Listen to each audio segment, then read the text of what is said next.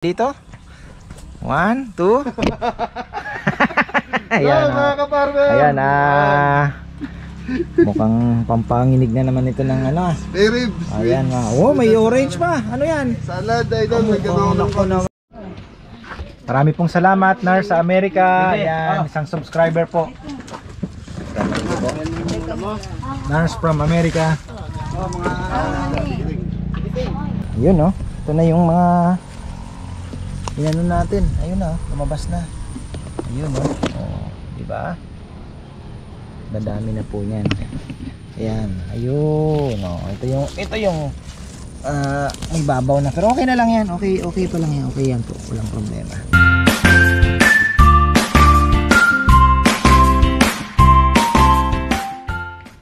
Ayan, oh, mga ka-farmer. Hulaan nyo kung sinang nandito. One, two. Ayan, Ayan, mga oh. kaparmer. Ayan, ah. Mukhang pampanginig na naman ito ng ano. ah. May ribs. Ayan, ah. Oh, may orange pa. Ano yan? Salad, idol. May Oh, naku naman talaga. Oh, so ayan po, ah, abangan po natin ang lulutuin ni Chef. Ayan oh, ang si Chef ang payaman ng payaman oh. Dating kolong-kolong ngayon eh ano na. Actually, yun ang pangarap ko sa ano din. Kaya, oh, kaya lang medyo mahal din ang brand niya no. Hmm. Parang ano nga din eh, tinitimbang ko yung ano, parang dagdag ka na lang ng konti. May meron ka ng van na Yung yan, 300 man lang sana. hindi kaya lang kasi talaga pang negosyo to. Hmm, Yan, negosyo. Yan ang pupuno ko ng gamit, Ah, idol. pang pangharabas talaga. Oo. O yan. Ah, hindi pa hindi pa naman ganun kailangan pero minsan yun nga. Mong ipasyal yung tropa, kotse lang ang dala ko, hindi naman yung obra. Ah, napakahirap kung naka-tricycle lahat kayo. Oo. I- ikaw, ikaw ang kailangan mo, malayo ang inaano mo. Yan. eh. Bulacan to ano, iba yung ginhawa no. Ang ginhawa, di ba? Oo. Iba talaga yung four wheels. Pag dala lahat yung gamit ko. Kulang pa din? Oo. kinakapos pa rin gamit. O hindi lang maayos yung pagkakasalasan. Hindi, hindi lang maayos eh. Lagyan mo ng ano, top load. Sa, sa taas yung mga Oo. Din, Kaya lang, pwede ka magpakabit ng top load kaya lang registro niyan may sa kasama sa top load. Tapos the best ka na, para ka nang ano nun, para ka nang nagtsatsyanggi. Hmm, ganun na nga. di ba? so, ayan, ah, abangan natin yung kanyang luto. Mukhang marami chef, ha? Huwag masyadong ano. Tatlong items lang idol eh. Nag-isda ako dahil si Papa yung gusto isda eh. Mas kasi konti lang kami. Ilan lang kami dyan? 12 daw sabi Oh, niya. tamo, hindi kagaya dati 17, di ba? Tapos nabawas pa yung mga malalakas. Oo, nagbebente pa nga tayo. eh. Puro, puro ano yan, puro skinny jeans ang mga nandyan. Maliliit. Wala pa si Junjun. Ewan ko kung na... Junjun absent tsaka si Puroy. Hmm.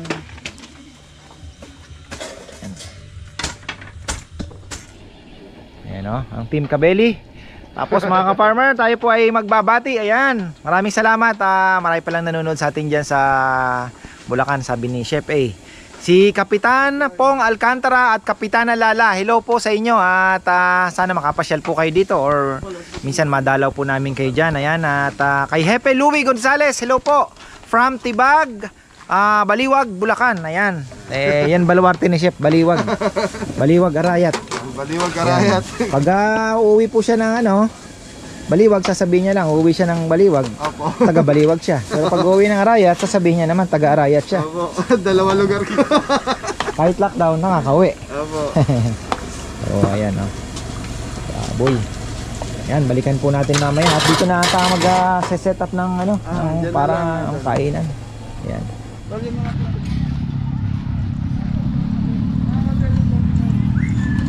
Kukuha tayo ng sili. Magla-lunch na. Ako naman, ang gusto ko ay kulay green. Yan, kailangan na pong ma kahit papano malinis na naman itong ating ah, kalamansian. Pero ganun pa man is ah, okay. Okay pa din naman siya. Ayan ang ating mga papaya oh, dwarf. Ang papaya po mga farmer, pag naaarawan, ano siya, hindi na siya hindi siya ganun tataas. Tamang patubig, tamang pag-aalaga, hindi na siya tataas. Pero ayun nga po, pagka naghahabol siya ng araw kasi nalililiman, kasi ang gusto ng papaya is full sun talaga. Yan. oh. Mm. Yan. Maganda ngayon. ito masisave to ngayong tag-ulan kasi well drained po ito bumababa ang tubig hindi kagaya doon sa taas mahirap mahirap po doon sa taas yan oh silong natin ah kaya na po actually si Mamita po ang unang nag-pledge na yun nga nung mag-ano siya mag mag-ano na kami magre-resume sabi niya.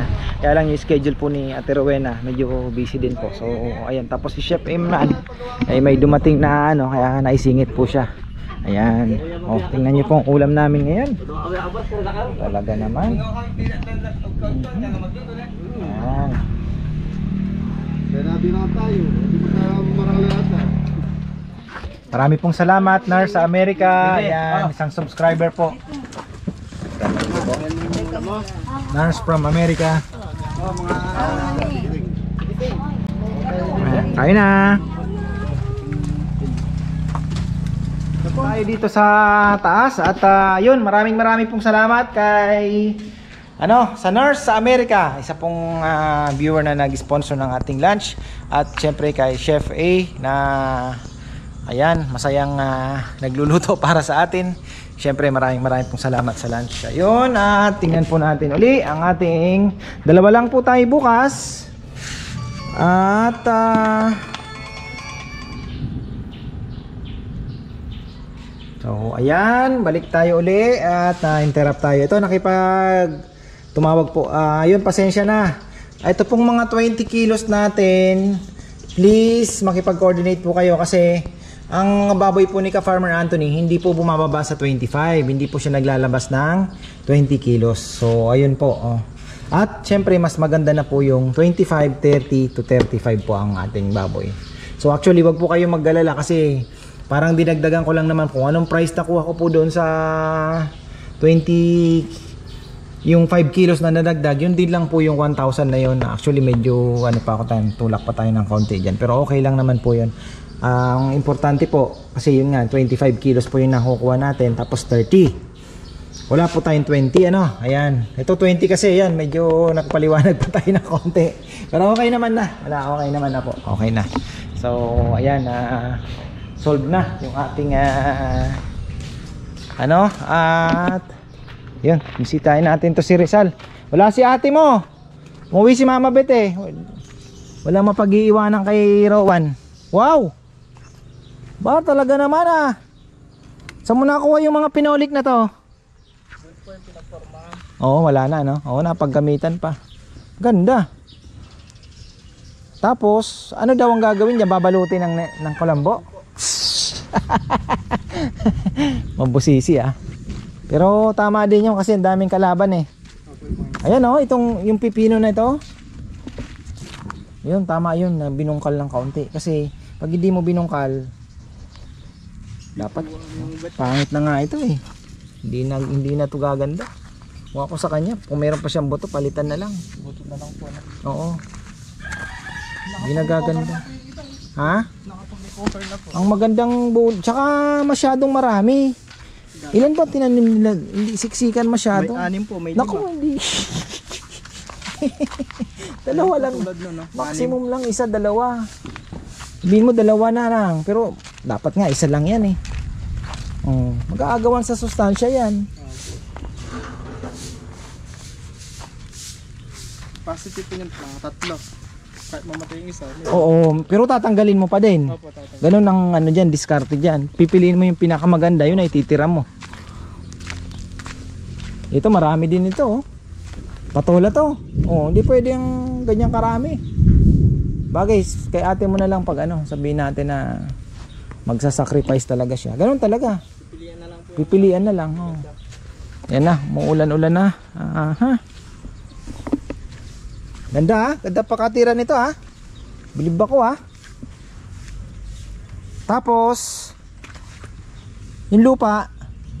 Kung tayo ng kalabaw, Mm, maano po siya maganda. oo. Patutuyuin lang po ng konti. Oo. Po siya, lang siya. Ano to, yung vermicast yan, maganda talaga yan. Ah, may, Oo. may ano po yun, may Bulate. bulate. Oo, oh, yan na nga, sabi ko yan ang gamitin kasi hindi na rin naman mamimaintain yung bulate. Wala na din naman.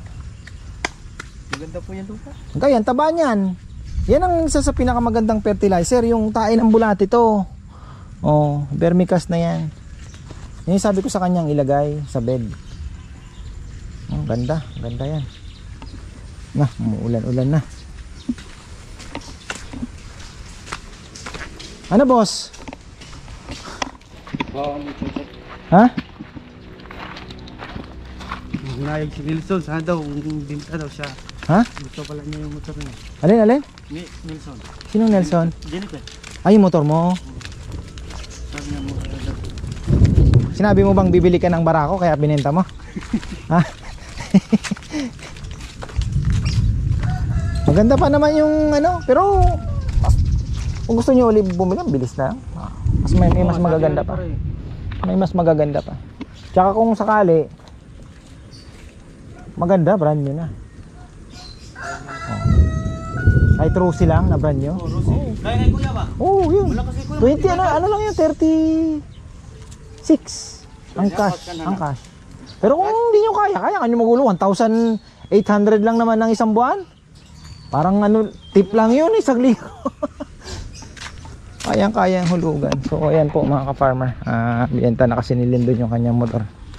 In preparation for their vacation. Siguro baka ano iniisip din nila baka mabitin. Pero okay lang naman. At ah, kung babalik naman po siya at ah, ganun pa rin naman ang lechon. Sandali lang naman makaka ano ulit sila. Ayan. Chuchay pala na andito na. Sarap sana isoga dito sa gilid pero busog na busog na din ito. Oh. Ano pa bang hahanapin mo, Chay? Kung ng tubig si Papa Lindon. Ano? Oh, dito ha, pinalagyan ko na ng ipa yan para hindi ka na lalamigin. Na. Oo, oo. Kumakain ka ba ng Madrid de cacao? Oh, wag mo kakainin yan. Kumakain ka ba ng Madrid de cacao? Hindi. Magandang Madrid de cacao sa ano? Sa ayaw mo nito, mabaho ano? I don't like, sabi niya. Ayan po. Oh, madamo pala ang ating uh, palay sa kabila. Huwag mong kakainin yan. Ipa yan. Ipa yan eh.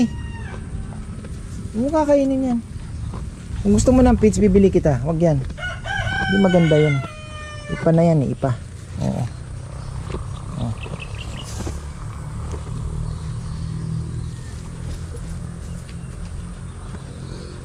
Marami ka nakain doon? Ha?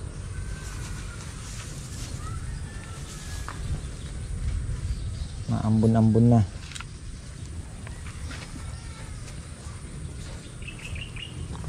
Ganda nung ano, ganda po nung ginawa ni Rizal.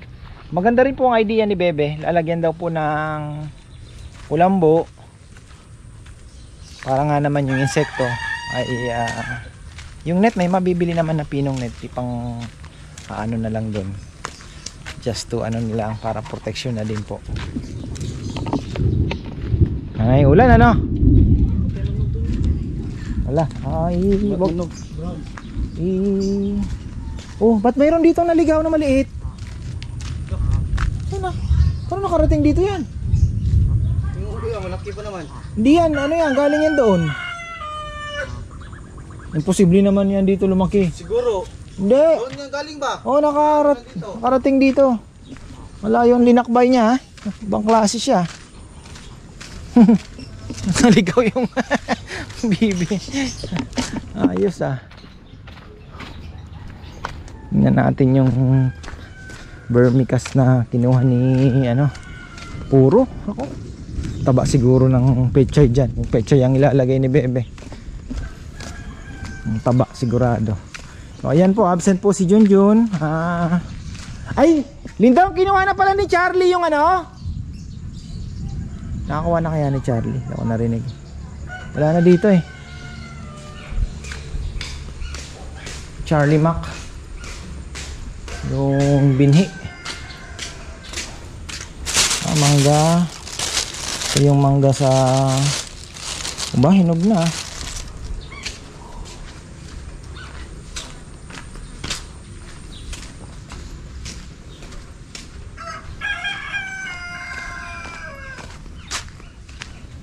Yun, ah, may talbos pa kaya si nanay. Lagi niyang binibilin sa akin. Ah, eto, tatlo na lang po ang ating baboy. Ang ano, nag-request na po kay ka Farmer Anthony ng ano, ah, biyahe uli. Kaya lang yung anak niya po ay sasama niya sa dentist bukas. So sabi niya, kung hindi siya makakahabol ng hapon, ay umaga ng Wednesday. Eh may dalawa po akong order ng Wednesday. Luckily, hapon yung isa. So makakahabol naman po mga farmer. Yan ang ating ano. Ayan po, kita niyo po, puro malalaki po ang baboy na. Yung ano, ka farmer natin na may ano ng 20 kilos ay wala po talaga. Hindi naman na po kayang ibigay sa 8.5 yan dahil lugi na tayo mga farmer. So ayun. Tingnan natin yung ay nako. Ay, tumalon ka. Ayun. Kumusta mga kaibigan? Nako, ito, kumusta kaya ito? Mukhang sana hindi ka nabasagan ng itlog. Kumakain ka kaya? Ah, ano? Kumakain ka ba? Nako, walang laman ang ano. Walang kumakain ka ba? Kung may sipon ka, may gamot na yung iniinom mo. Premo ano, ah, respect. Ay, wala na yung itlog. Pito. Padamihin muna natin.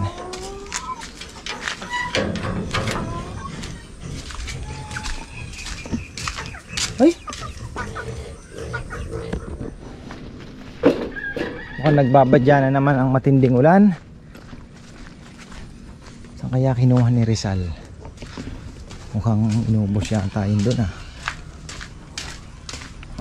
Ouch! Doon nga sa, sa may bulate. Anyway, hindi ko na rin naman po kayang i-maintain yung bulate kaya sabi ko give up. Mabilis lang naman po mag-alaga niya. Just in case kay Gilbert may makukuha tayo sa Santa Ana. Ganda sana kaya lang niya maintain talaga. Mahirap.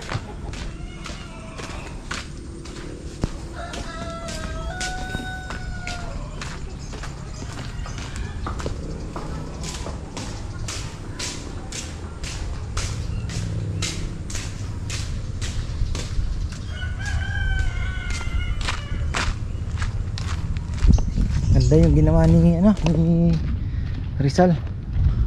Ah tibay tsaka maganda yung pagkaka box tsaka matibay po yung frame yun. Wala nang ano, wala nang ano dito. Sa sa dito pa ata si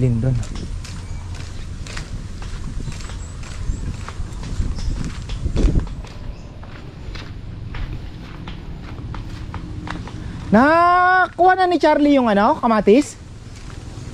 Tinabi mo muna. Hindi mo nagpakita ngayon ano? Baka pumunta na doon. Oo no. Ah baka nag-spray na siya. Siguro, baka nag-spray lang. Hindi pa niya alam na nabumili ka na ng ano. Kaya hindi kahapon kasi nga ako bumili. Hindi ko naman alam na baka umakyat na siya kaninang umaga. Baka umakyat Oh, matagal na naman ang. Oo. Sana mat mabuo yung mga bunga nito. Ang gandang tingnan pagka nabuo yung dalang hita. Ayan oh, dami. Sana mabuo. Ay, nag-fertilizer na rin naman po tayo. Yan, sana ma mabuo.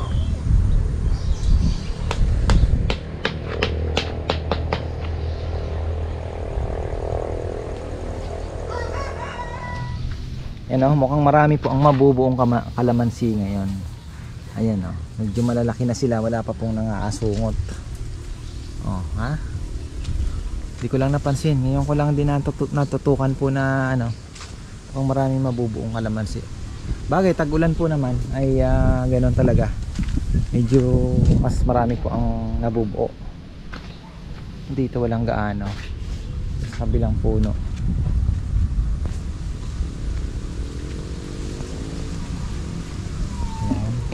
Ito, hinihintay kung mamulaklak. Wala pa rin hanggang ngayon.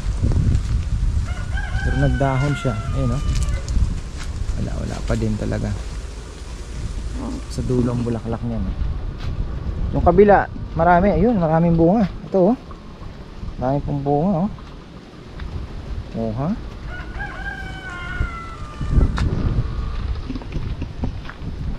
Ito, talanghita po uli ito. Dalawa yan, eh mas maraming bunga sa kabila. Yan. Ito sarap isoga si Chuchay. Tingnan natin yung napier alam ko tumubo na yung mga siniksik natin. May mga umano na. May mga lumabas na. Ayan may mga lumabas. Ayan oh, oh ayan. bilis po ano ayun oh. Kakatanim lang po ni Kongkong yan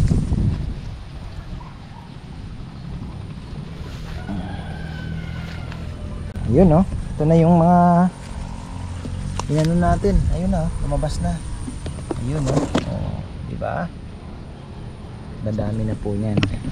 Ayan. Ayun oh. Ito yung ito yung ah may babaw na. Pero okay na lang yan. Okay okay pa lang yan. Okay yan po. Walang problema. Yan na oh. Ayun naman umuulan na. Dire diretso na yan. Ayun oh. Mga nakahiga. Matanggal yung ano ayun ah, naglalabasan na. Ito na ano lang to. Tapon lang ito. Ibig sabihin hindi po siya ano na ano lang nalaglag lang yan. Pero tumubo pa rin. Galing galing talaga yung napier grass. Susunod naman ipapakita ko naman sa inyo. Ayan oh. Ito ito yung mga ano oh. yan yung mga tinanim ko. Hmm. umabas na. Ito patay ayan oh tingnan niyo po ayan. Hmm. malabas yan dikit dikit na yan. Tapos dito ayan bamo ito yung parang palay oh. Ito yung parang palay na na andyan sa gitna ng palayan nakakala nyo palay. Ayun yung purple na pier ayan. Doon lalagyan din natin. Pero sa ngayon naman dahil ah, maraming damo sa baba ay sa kabila hindi na natin na hindi tayo pressure sa paghahanap ng pagkain ni Chuchay. Ang problema pag summer time yun medyo ano kahit po doon sa gilid ng mga palayan napakarami pong ano doon uh, makukuhang mga pagkain ni Chuchay na parang ano din mais-maisan yun. Oh dami niyang ano kailangan pa rin panilindo ng pinangkuha pa rin siya ni Lindo ng Napier. Syempre ano na pa rin naman po yan? Kumbaga ay uh, parang tao din. Nakakasawa din po yung palagi na lang adobo ang ulam di ba? So ganun din. Oh. kaya nga ang kambing medyo ma maarte yan dapat variety ang ipapakain po ninyo lalo na kung nakakulong siya kailangan nyo mag mag-alaga ng iba-ibang klase ng halaman na pwedeng ipakain. Gaya ng yun napier uh, ano pa ba? Madre de cacao ipil-ipil. Yan oh, madre de cacao. Kambing po kumakain yan. Po yung mga ipinapakain sa kambing. Variety. Pero ito uh, napier lang. Alam ko uh, pwede na yung baka yun nga yung sinasabi ko dun sa kabila. Napakalaki pong lote pero pag nag summer time talagang namamatay. So kumawa po yung baka ngangayayat pero kung meron kang area na matusukan mo ng yan kagaya nyan napier grass tapos nata, nadidilig po nadidilig lang. Eh malaking tulong na po sa kanila yun. Kahit ipagpuputol mo na lang sila araw-araw ay okay na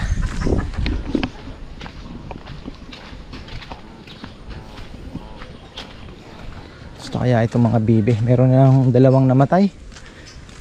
Parang ano uh, Newcastle din. Pagka mahina ang resistensya. Big malulungkot na lang. Bigla na lang pong ano makikita nyo nakahiga. Patay na pala. Normally juvenile ang tinatamaan po ng ganyang sakit.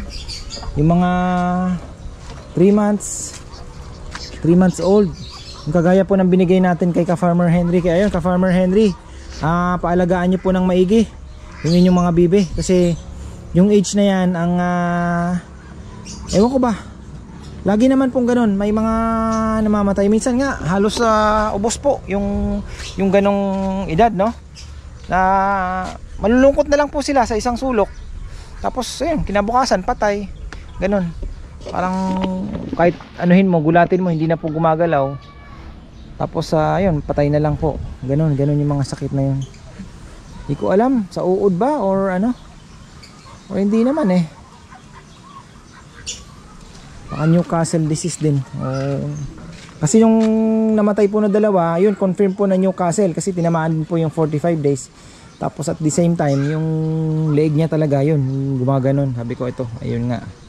Parehas lang.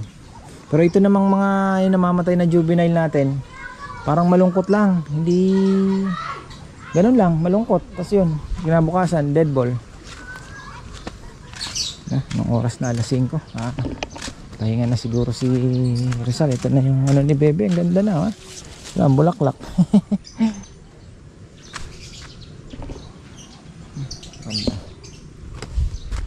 Dahil pang project ni Bebe dito. Hindi ko alam kung ano. Itong tambayan. Eh, bukas. Sana si Junjun ay pumasok. Ayun oh, grabe. Ang bilis. Kailangan din natin pong patayin to eh.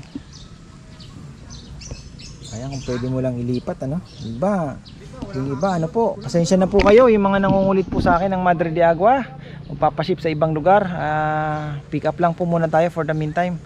Talagang hindi ko po kaya magpaship pero sayang, sayang po. Gusto ko rin po kayo matulungan pero yun nga, yung mga naghahanap po ng Madre de Agua na malayo dito, pwede po kayo mag-search sa Facebook. Marami po ang nagbebenta. Meron din po nagpapaship, alam ko. Pero syempre, ah, be careful po kayo na dapat matured. Pwede po kayo makiusap. Pwede bang mataba na lang? Ilang pirasong mataba na. Huwag na po yung maliliit. Kahit medyo mahal, kung padalhan kayo ng let's say 20 pieces po na medyo let's say 1 inch na po ang diameter, yun sigurado na pong tutubo yun.